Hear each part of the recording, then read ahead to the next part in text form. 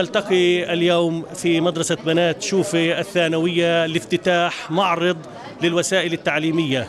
هذا المعرض يشمل عدة زوايا منها آه، للتراث تخدم التراث ومنها وسائل تعليمية تخدم المنهاج المقرر لمختلف المباحث والصفوف.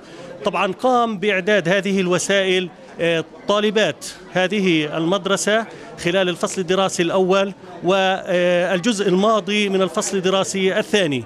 هذه الوسائل آه، لها علاقة كبيرة بالمنهاج المدرسي ونتمنى أن تعم الفائدة على جميع الطالبات. ونحن نتقدم بالشكر الجزيل للهيئة الإدارية والتدريسية وجميع المعلمات ولمديرة المدرسة على هذا الإنجاز وعلى هذا الإبداع. المعرض معرض شوفي التعليم التكاملي يتكون من عشر غرف لجميع الوسائل لجميع المباحث ولجميع المراحل.